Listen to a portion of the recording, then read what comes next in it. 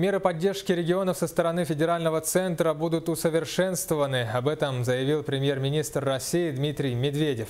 Прежде всего, речь идет о том, чтобы субъекты более ответственно решали вопросы финансово-экономического развития.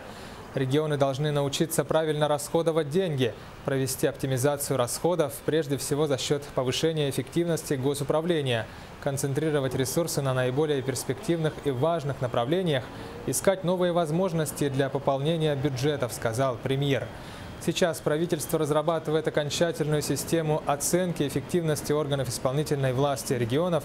Она должна учитывать показатели, которые отражают темпы региональной экономики, развитие социальной сферы, настроение граждан, с другой стороны, эффективность бюджетной политики. И те регионы, которые достигают высоких показателей, причем не только в абсолютных цифрах, но и в динамике, должны получать дополнительную поддержку центра, считает Дмитрий Медведев.